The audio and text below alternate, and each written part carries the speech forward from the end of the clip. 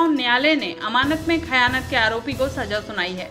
न्यायालय ने आरोपी कमल किशोर जाटव को धारा 406 के तहत दोषी पाते हुए एक साल की जेल और एक हज़ार रुपए जुर्माने की सजा सुनाई है। दरअसल फरियादी प्रमोद ने साल 2012 में पुलिस थाने में रिपोर्ट दर्ज कराई थी कि उसका एक लाख रुपयों से भरा बैग उसके बुआ के बेटे ने गायब कर दिया। पुलिस ने जब इस मामले की जाँच की तो आरोप को सही पाया और कोर्ट में भी इस मामले को सही सिद्ध कर दिया गया। जिसके बाद कोर्ट ने कमल किशोर को दोषी पाते हुए उसे एक साल के कठोर कारावास की सजा सुनाई है। आज उस मामले में उसको एक वर्ष का कठोर कारावास दिया गया है और उसको एक हज़ार रुपये का जुर्माना भी की सज़ा दी गई है। अगर वो जुर्माना अदा नहीं करता है तो उसको तीन महीने का अतिरिक्त कठोर कारावास दिया जाएगा। ये सज़ा माननीय श्री रोहित सिंह जी के न्यायालय से जे एम एफ़ सी मेघाओं के न्यायालय से दी गई है। ऐसे प्रकरण